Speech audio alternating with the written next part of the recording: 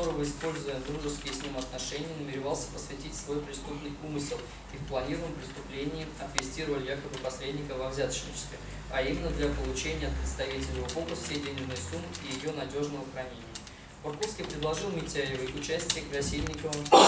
который должен был выступить гарантом передачи денег, а также осуществить их получение от представителей ООО «Фокус» Колбина и хранить их у себя до окончания процесса выдачи разрешения на строительство. При этом Бурковский намеревался посвятить Красильникова свои преступные намерения, направленные на хищение чужого имущества путем обмана, материально заинтересовав Красильникова, обеспечить участие последнего в преступлении. По умыслу Бурковского Красильников, демонстрируя представителям ОФОПа свое посредничество взяточности для должностных лиц государственных органов органов местного управления, должен был выполнить действия, необходимые Бурковскому, а именно направленные на получение хранения и передачу ему денежных средств от представителей ОФОПа. Не позднее 19 января 2017 года. Бурковский, встретившись с Красильниковым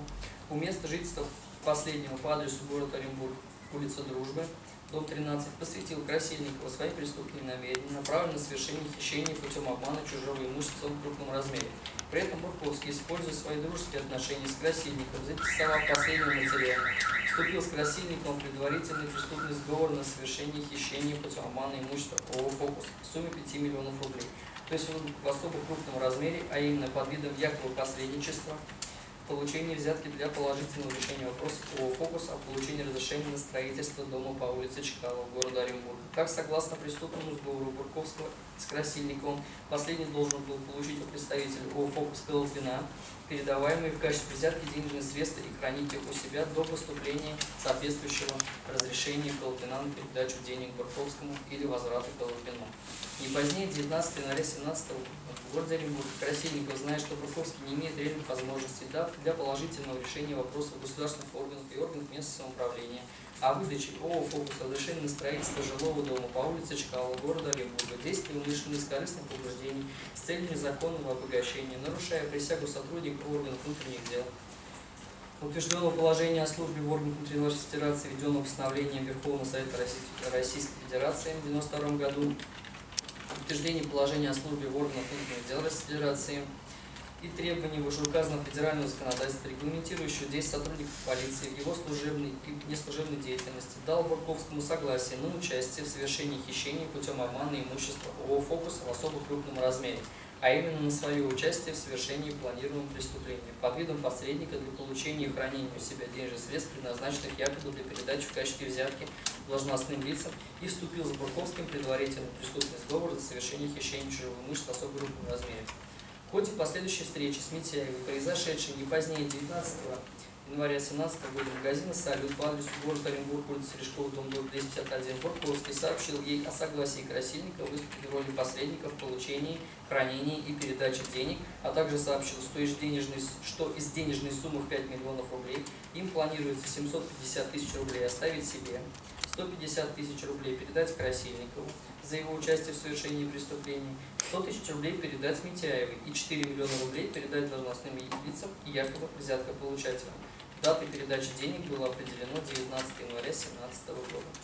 19 января 2017 года в городе Оренбурге в ходе проведения оперативных мероприятий по поступившей от представителя ООО «Фокус Макарова» информации сотрудниками ОРЧС отделом расследования собственной безопасности МВД России по Оренбургской области Макарову, давшему соответствующее согласие, были вручены денежные средства в сумме 2 миллиона рублей, принадлежащие Фролову, и предоставленные последним для передачи их Колпину, который, не имея преступного умысла, зная о действиях правоохранительных органов, направленных на предотвращение преступления, должен был передать указанные средства Красильникову. Однако Бурковский в ходе общения с Митяевой, узнав о передаче денег по частям, продолжая вводить Митяева в заблуждение, в категоричной форме заявил о якобы требований должностных лиц о необходимости передачи всей суммы одновременно, в связи с чем дата передачи денег России Чувствительна была перенесена на 21 января 2017 года. 20 января 2017 года, дневное время, Бурковский продолжает осуществлять свои преступные умысел, обусловленные корыстными побуждениями и целью личного обогащения посредством хищения путем обмана имущества ОФОПа в особо крупном размере, находясь в здании поликлиники МВД России Оренбургской области по адресу города Оренбург, Кучери, дом 38, в ходе стоит встречи с Митяевой, продолжая вводить последнее в заблуждение относительно истинных мотивов своих действий, заявил Митяевой как передачи денег в сумме 5 миллионов одновременно. тот же день Бурковский получил от Митяева телефонное сообщение, в котором последний подтвердил готовность ООО «Фокус» представить требуемые Бурковским денежные средства 21 января 2017 года. 20 января 2017 года в ходе состоявшего телефонного разговора между Колотвиным и Красильниковым последний подтвердил свое согласие на встречу 21 января для получения денег от Колотвина. 21 января 2017 года в городе Оренбурге Бурковский действует согласно совместно с Красильником преступному умыслу после подтверждения Красильниковым факта получения денежных средств от Колотвина должен был встретиться с Митяевой и, вводя ее в заблуждение о своих истинных намерениях, сообщить ей заведомо ложную несоответствующую действительности информацию, якобы полученную им от должностных лиц о выявленных недостатках требующих устранения в проекте жилого дома, после чего заверить от имени указанных лиц о выдаче разрешения на строительство в ближайшее время, после чего получить у Митяева деньги в сумме 750 тысяч рублей,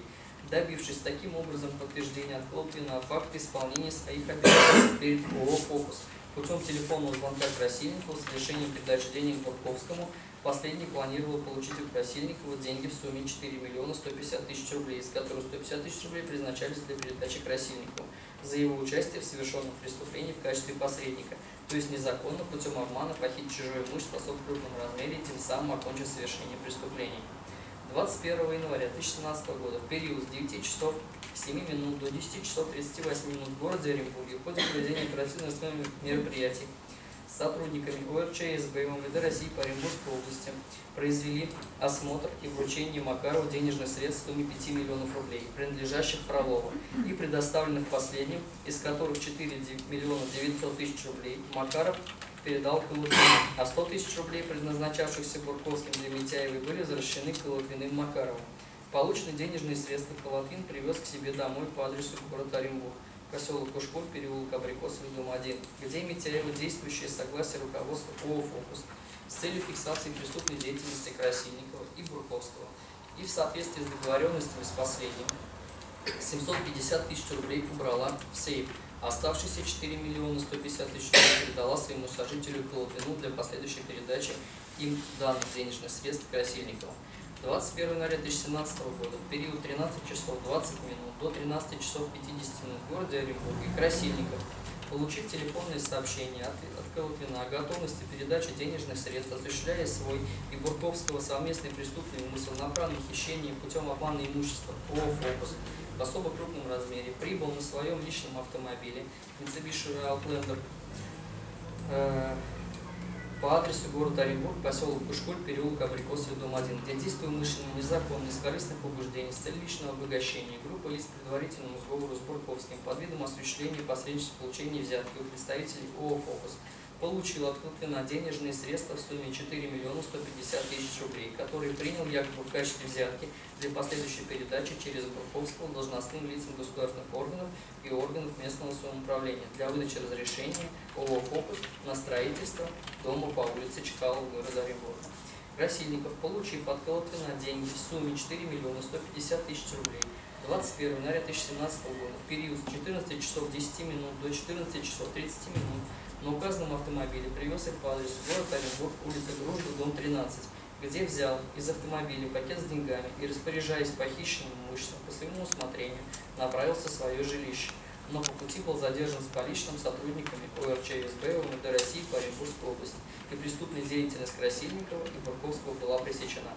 Таким образом, Красильников, выступая перед представителями ООО «Фокус» роли посредника и гаранта передачи якобы взятки в виде денежных средств Действуя умышленно, незаконно, группа лиц по предварительному сговору с Бурковским путем обмана похитили чужое имущество в особо крупном размере, а именно совершили хищение денежных средств Фролова, являющегося учредителем ООО «Фокус» сумме 5 миллионов рублей, то есть в особо крупном размере, полученные под видом взятки для должностных лиц государственных органов и органов местного самоуправления за получение в Департаменте градостроительства и земельных отношений администрации города Оренбурга разрешения на строительство жилого дома по улице Чкалова города Оренбурга для ООО «Фокус», чем причинили ООО «Фокус» вред его деловой репутации, а также материальный ущерб Фролову в сумме 5 миллионов рублей, то есть в особо крупном размере. Своими действиями Красильников и Бурковский совершили преступление, предусмотрено 4 статьи 159 Уголовного кодекса, мошенничество, хищение чужого имущества, чем обмана совершенного лиц предварительного сговора в особо крупном размере.